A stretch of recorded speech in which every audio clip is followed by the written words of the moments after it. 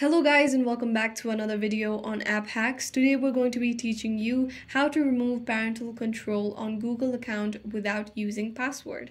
But before getting started, remember to support our channel, hit the like button, subscribe and turn on your notification bell so that you don't miss out on any new videos by us. Without further ado, let's get started. So you open your Google Play Store and you have that parental control option open. To view the parental control option, go ahead, tap on your profile icon that appears on the top right corner of your screen.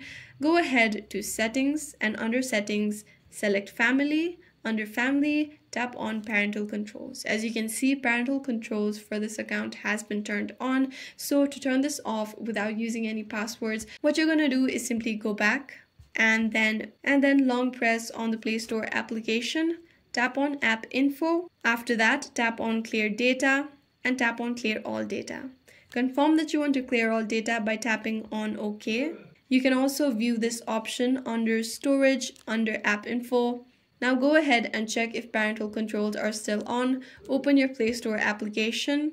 However, this should completely reset your data. So if you go ahead and tap on your profile icon again, go to settings, tap on family, and tap on parental controls, you can see that parental controls has been turned off. And this is how you can turn off your parental control on Google account without using any type of password. I hope this video was useful. If you have any questions, let us know in the comments down below and thanks for watching.